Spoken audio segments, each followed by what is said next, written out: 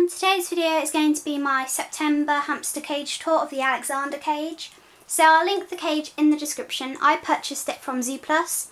Um, I'll now get on and show you her current setup. So at the moment in front of her cage she has these really cute seven hamster erasers. So these are just for decoration and Mabel obviously can't get to them and I just thought they look really cute.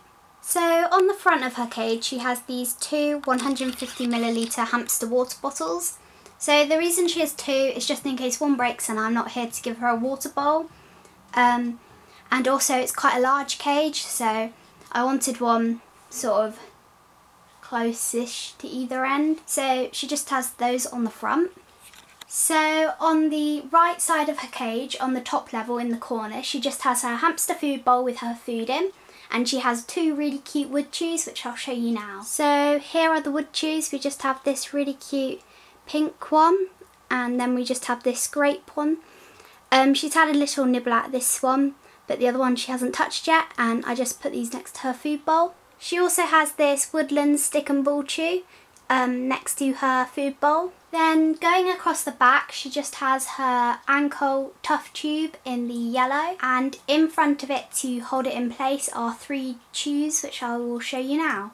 So these are the three chews which I used to hold her tough tube in place. So the first one is just this orange fruit and nut chew. The second one is just this Pet Brands 2-in-1 Dental Chew and it's supposed to have filling either end though she's eaten most of it. And then we just have her Corny the Owl which she sort of ripped the face off. The face is supposed to be here but as you can see it's gone.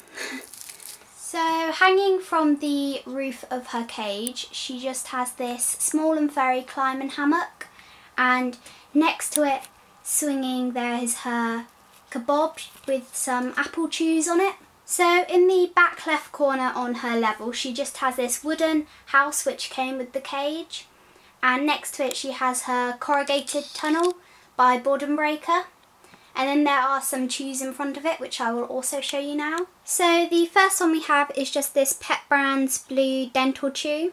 We then have this orange wood chew and then we also have a yellow wood chew. Of course we have her ramp going down to the bottom level. So that was everything on her level and sort of in the top part of her cage. So I have a slight problem in the fact that I have lost the footage of me showing you the bottom half of her cage. So this video will only be the top half and my next cage tour I will do the top and bottom level I would refilm the bottom level and put it in, but it wouldn't make sense because I've completely changed her setup. The only thing that's stayed the same is really her ankle tube, so that wouldn't make sense at all to do that.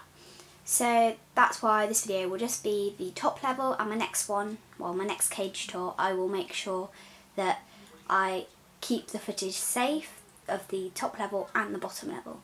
So thanks for watching, sorry it's only the top level but I took a while editing it until I realised I hadn't got the footage for the bottom half.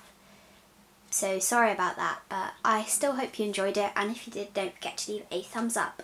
Thanks for watching, bye!